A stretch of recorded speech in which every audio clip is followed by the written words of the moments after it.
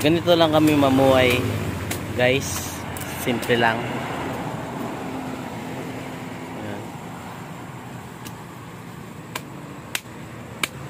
magluluto kami ng adobong tuyo na baboy Ayan.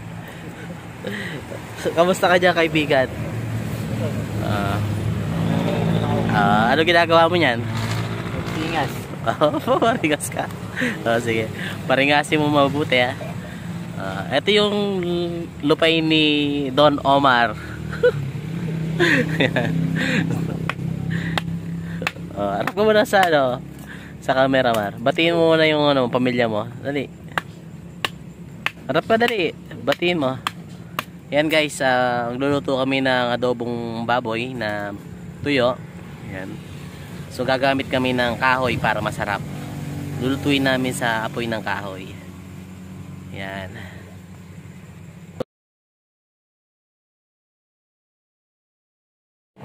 Siyempre guys, uh, hugasan natin yung baboy. Uh, hugasan natin mabuti. Dahil pagkain to, dapat malinis. Yan. Actually guys, dalawang beses ko nang nalublog to. Yan. Lalagay mo dito sa kaldero. Yan. Simple lang kami mamuhay. Uh, buhay namin dito sa kagubatan. Yan. So habang inihiwa yung sibuyas, tayo natin guys.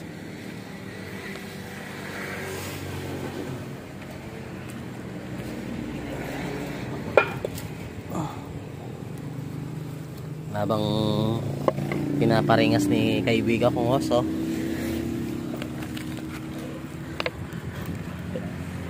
So ganyan yung ginagawa mo para lumiyab yung ano kahoy. Hindi mahirap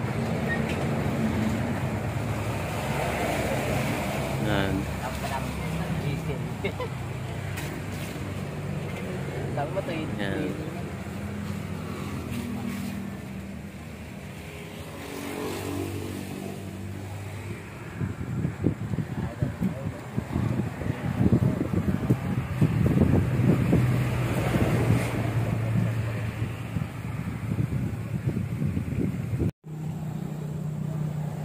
So ayan guys, habang pinapainit natin yung kaldero. So wala tayo kasing ka ano, kawali kaya kaldero muna yung gagamitin natin na pagluluto. No, bili ka dun 5 piso. Sa may tindahan na. Ilagay mo na kaibigan, yung mantika. Lagay ko na. Ilagay mo na ba? So yun guys, lalagay natin yung sibuyas at bawang. Dagdagan mo mantika.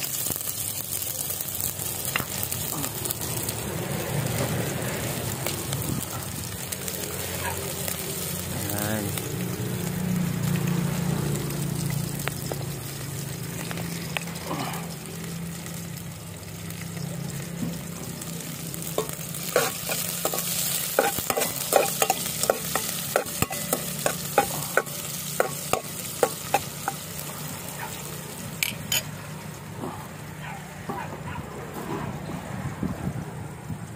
Lalagyan natin ng kahoy guys. Baka mamatay yung apoy.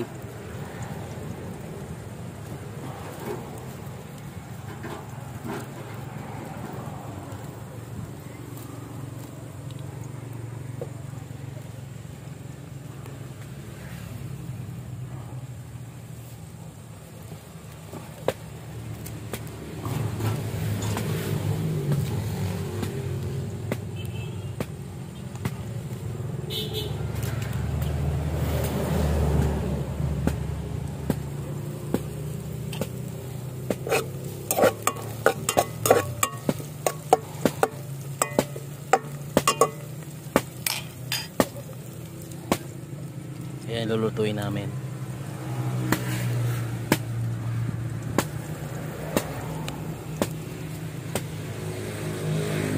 Ano, robo? Adobong malangi. Bablog kay Omar eh. Ayan, naninibak siya ng kahoy.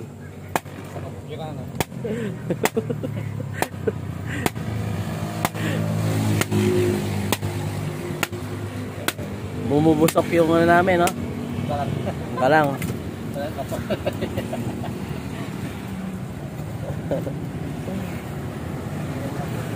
Abulan mo siya, abulan mo. Abulan mo yung duto. Along. Uh, ba't walang apoy? Namatay yung api, no? Ayun, kalakas ng apoy. Di na tayo gagabit ng stove para tipid tayo, guys. Uh, hindi na tayo gagamit ng gasol. Ito yung simpleng pamumuhay ng mga Pilipino. At hindi lang mga Pilipino na namumuhay ng ganito, yung mga ibang bansa din na ano, gumagamit din naman sila ng kahoy. Yan. Tulad sa India. Yan. Mga simpleng tao din sa India gumagamit din ng ganito yung apoy na pagluto. So hintayin lang natin na na kumulay brown yung sibuyas at bawang. Yan, pinaghalo-halo ko na. Saka natin lalagay yung yung baboy, guys. So, lalagay na natin yung baboy. Yan. Uh, saka natin si si halo-halo. Si go-go-go-go tayo. Ah. So hintayin natin ng mga 30 minutos bago natin lalagyan ng sibu ng sibuyas tuloy, ng toyo at suka. Yung sili to. Iwain mo lahat.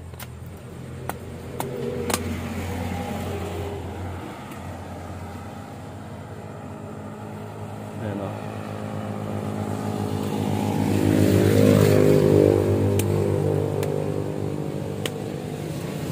Sa bukid.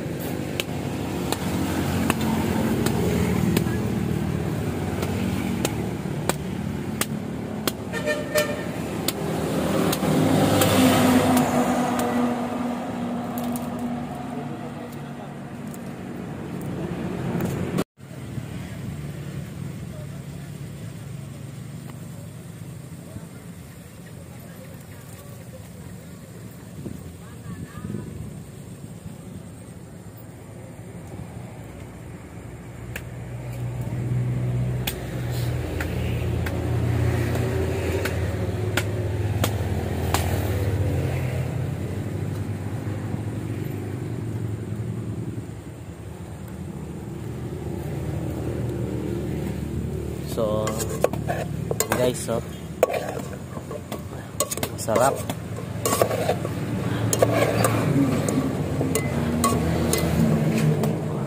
Masarap, masarap.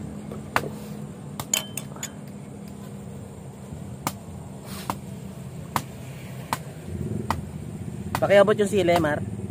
Sili. Oo. Tinggal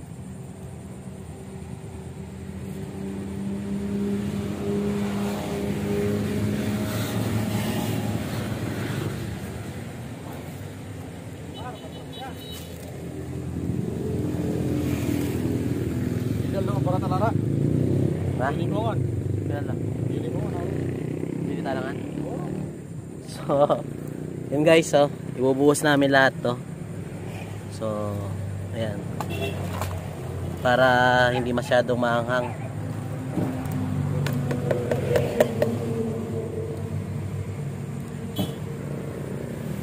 Mm,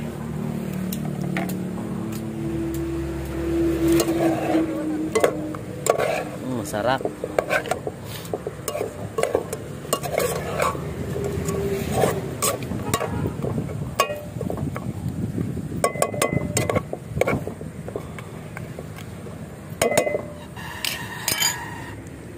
Habulan me pa.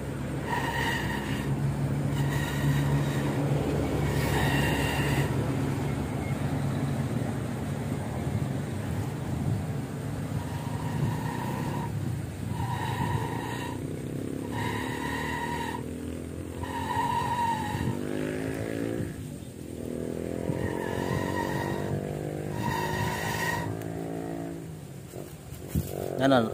Napupot siya, no? Napupot ba? Yan. Yan, yan, yan.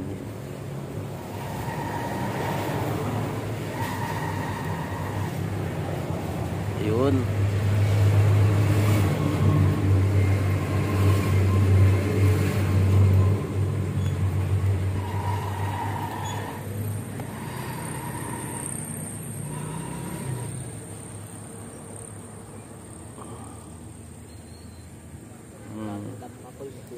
Namumuhay kami sa ano, isang simpleng